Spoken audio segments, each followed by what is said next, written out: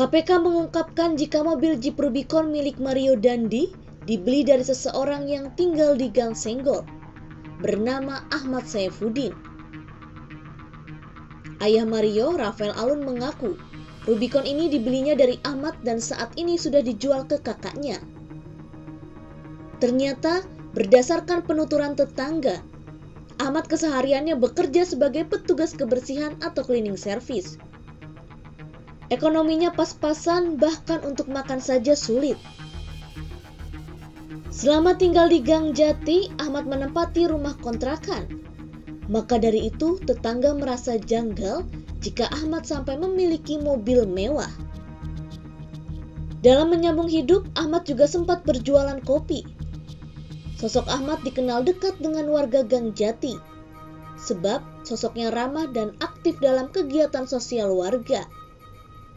Sebelumnya, KPK memastikan akan mengusut kepemilikan Rubicon dan Harley Davidson dari mantan pejabat Ditjen Pajak Kementerian Keuangan, Rafael Aluntri Sambodo. Dua kendaraan mewah yang digunakan anak Rafael, yakni Mario dan Disatrio itu tidak tercatat dalam LHKPN KPK telah mengklarifikasi harta Rafael Aluntri Sambodo pada Rabu 1 Maret 2023. Atas klarifikasi tersebut, KPK membuka kemungkinan membawanya ke ranah pidana dengan mengusut asal-usul harta tersebut.